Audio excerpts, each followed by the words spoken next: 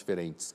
Vai ser muito difícil eliminar completamente o acaso. Aliás, muito da discussão acerca de políticas públicas, o, ah, o melhor funcionamento do Estado, ou melhor aplicação dos impostos arrecadados, diminuição da desigualdade, vão todos na, na direção de tentar diminuir o efeito do acaso, entendeu? Ou da contingência, como a gente fala em filosofia.